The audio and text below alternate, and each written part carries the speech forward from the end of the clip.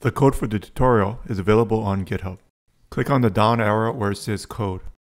You can either clone the repository down or download the zip file. If you download the zipped file, save it onto your local storage.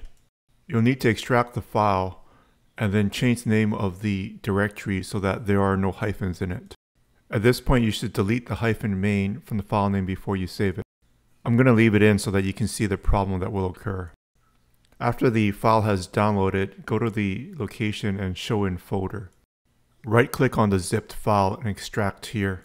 Notice that the file name has a hyphen main in it. This will be a problem later. Before you can run the files, you will need to run flutter pub get from the directory that the files are in. With PowerShell open, you can drag and drop the directory path of the file onto PowerShell and then attach cd space in front of it. Once you're in the directory that the files are in, run flutter pub get. Using flutter hyphen hyphen version, verify that you're running flutter 2.8 and dart 215 or higher. You can see the devices you have available to run the Flutter application on with Flutter devices. If you have not set enable Windows desktop, you will not see the Windows desktop like it's shown here in this example. However, even though I have the Windows devices shown, this Flutter project is not configured to run the Windows desktop by default. Even if you run flutter run-d Windows for the Windows device, the application will still not run at this point if you don't see the Windows devices listed, you have to enable the Windows desktop. You can do this with Flutter config. After Flutter config, put a space and then pass some options to it. The option is hyphen hyphen enable hyphen Windows hyphen desktop. Press enter. The Windows desktop device is now enabled, but you still need to create the Windows uh, version of the project for this to actually run on Windows desktop. The command to create the Windows desktop is flutter space create space hyphen hyphen platforms equals Windows space and dot. At this point, we're still going to have a problem because there's a hyphen in the name of the directory and you can't have that in Flutter. Go up one directory and change the name of the directory to something that is using an underscore instead of a hyphen. For example, a flame underscore tutorial might be a good name. Once you create it, you can now run the create command for the Windows desktop version of the application. The sequence is flutter space create space hyphen hyphen platforms equals Windows space dot. This command actually creates the files that you're going to need to run a Windows desktop application. You can now test the code flutter space run space hyphen d space windows. After the code compiles, you'll have a desktop Windows application. This technique is running it in debug mode. It's not appropriate for distribution of the Windows desktop using this technique. This is just to run it locally for local testing. The tutorial series is based on running the Flutter application within an Android mobile emulator. However, if you have problems with the Android mobile emulator, you can run it on Windows desktop. I believe it should be fine. The size may be a little different. The application also does build on the web. So you could test it on within Chrome or Internet Explorer. However, the text is not appearing um, in this demonstration. I'll show you how to enable it for web as we'll likely fix the application uh, in the future. If I type flutter config at the bottom under the settings, enable hyphen web is set to true. So I've already done this step. However, I'll show you uh, how to do it in case you don't have web enabled. It's flutter space config space hyphen hyphen enable hyphen web. If you type in flutter devices, you should see the Chrome and the Internet Explorer if you're on Windows devices listed. To run it on Chrome or a web browser, it's flutter space run hyphen D Chrome, you do need to have Chrome installed.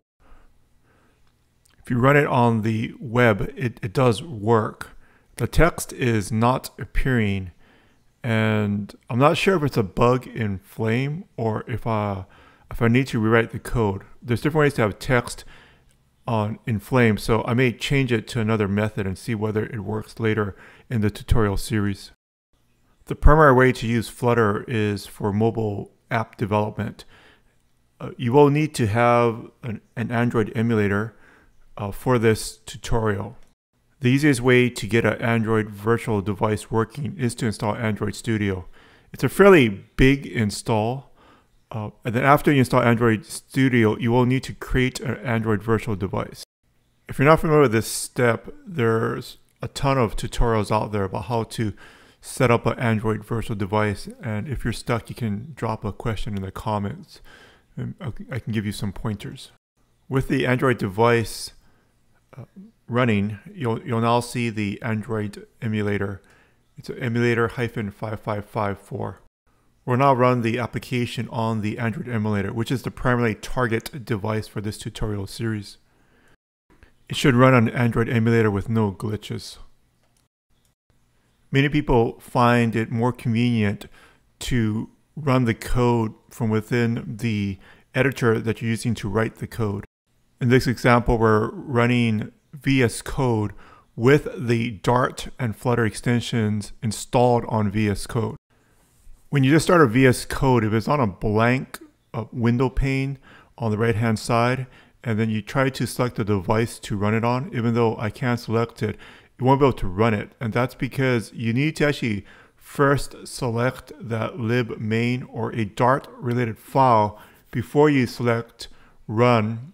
And then once you select run, it will run the default device. The default device is in the lower right hand portion of VS Code, P4 Android.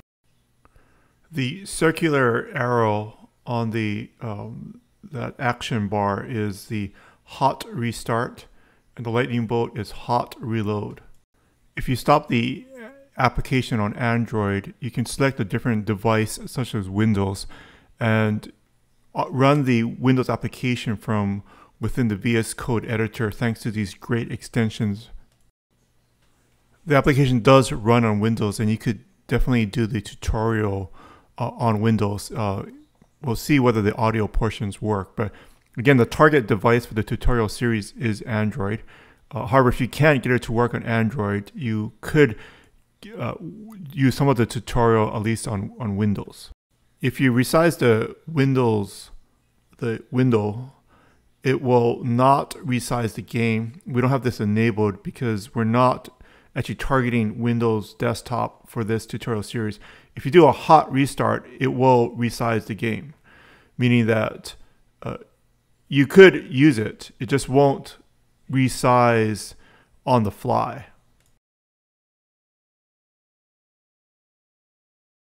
There are many other videos in the 2022 Flame Tutorial series, as well as 26 videos in the 2021 series. Subscribe to the channel for future updates. These videos are on Teachable as a free course. There's no upsell as this is purely a hobby for me. I'm using Teachable only for the progress so you can see how far you have progressed through the course.